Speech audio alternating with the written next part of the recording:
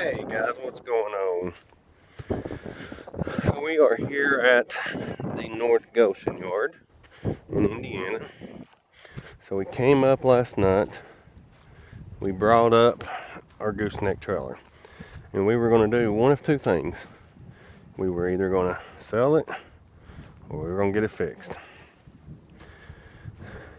So we threw it up for sale just to see what would happen. A lot of interest. A lot of interest. A lot of interest. So we sold the trailer yesterday. Uh, got a decent, decent price for it, and I was happy with it. I mean, it'd been worth a little bit more if I'd have fixed it, but I didn't have to worry about it. So we done that. So then we didn't have a trailer. So we were here. Uh, we went and rescued this load. This is a Kaufman trailer, which I do not like at all.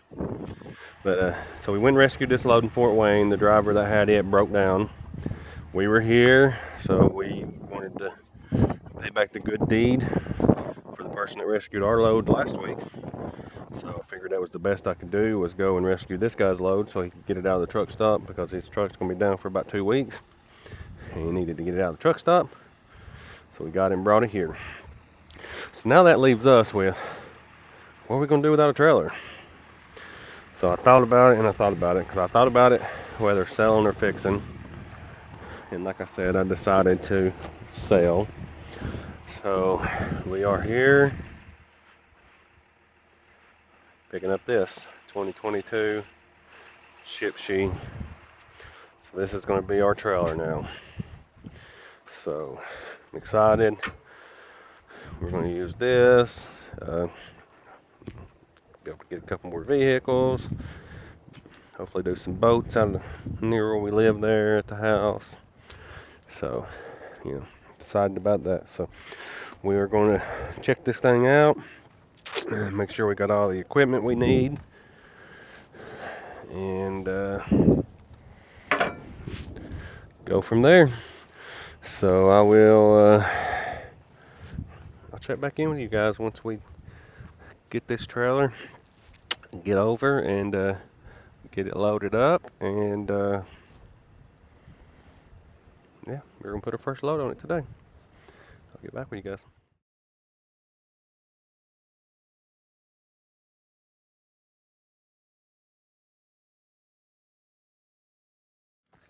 So we delivered those campers to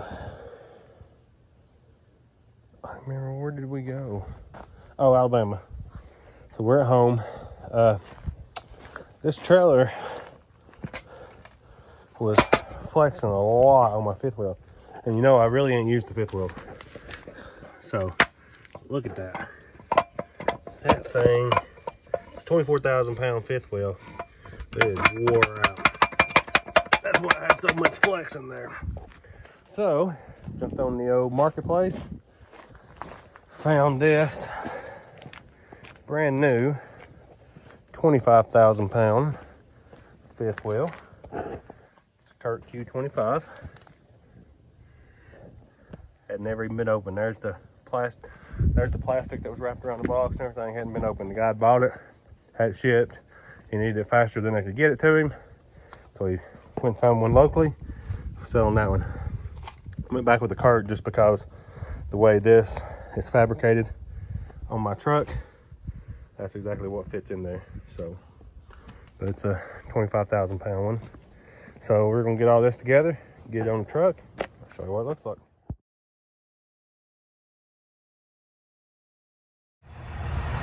It's Saturday. Got the Holly girl out here with me. Just wanted to jump on here and show you. Boy, is she pretty with that new trailer. She needs a bath. She's gonna get one in Corbin, but it was pretty busy, so might get in Fort Wayne, but uh, we're in Georgetown, Indiana right now. Stop. Let Holly girl eat. She's out here running around, but we're about to get back on the road. Head on up. I've been on the weekend. I didn't really didn't find anything I could pick up or anything that uh, I really could get on on Saturday. But uh, got a couple runs we're gonna do. We gotta be back for a ceremony thing of my son's at over at Camp Lejeune, but uh, new fifth wheel looks good, it's doing great. I know it's kind of hard to see, but it's riding level. So happy about that. Just feels feels better on there, but yeah. Pretty girl. What's up guys?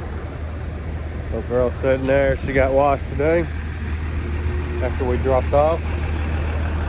Uh, dropped in North Little Rock, Arkansas. We had three Colemans on here, the 21 footers. Got a truck coming in, it's gonna be a little loud.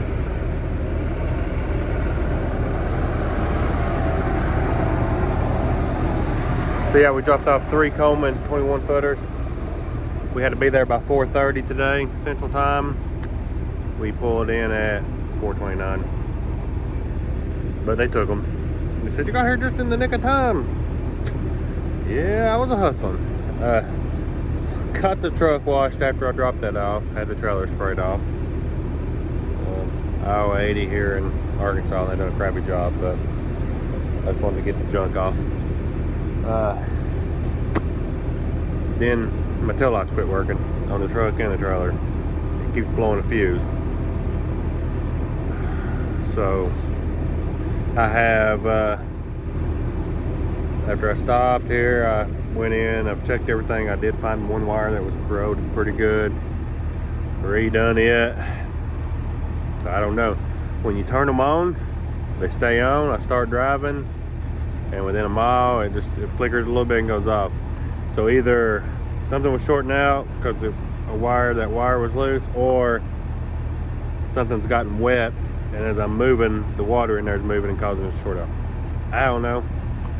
Like I said, stopped here tonight, checked everything, done it up, put a new fuse in it. You can turn the lights on while you're sitting here. It will not blow. You start driving, it does. So, guess we'll find out tomorrow if we got it fixed or not. But uh, we're headed back to Indiana, picking up a load from North Carolina, three 21 foot Colemans again. Uh, we don't have anything on the trailer right now. We don't have anything booked. We're gonna check in the morning. We're about 70 miles from Memphis. So gonna look along the route, and see if we can find something. But other than that, just want to say, if you got if you guys are out here or if you plan on being out here, you better be strong-willed to succeed and not give up. And I don't mean necessarily in the hauling part of it. I mean just dealing with the things that are going to go wrong. The pesky little electrical problem that keeps blowing a fuse or, you know, exhaust manifold cracking or trailer bearing. I mean, that's the kind of things that will probably put you out of the industry faster than the slow times because if you're a hustler, even during the slow times, you can make it work. So, we're gonna let this dog out again and then we're gonna get ready to lay down. So uh, I'll check in with you guys later.